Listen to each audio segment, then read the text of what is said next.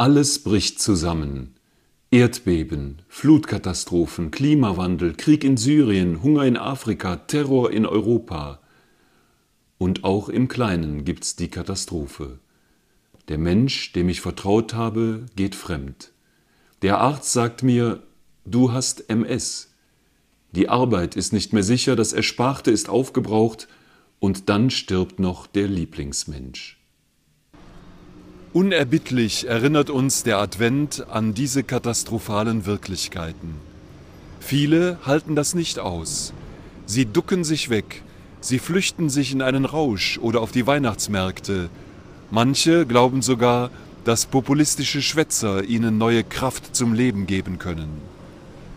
Für uns Christen ist die Botschaft klar.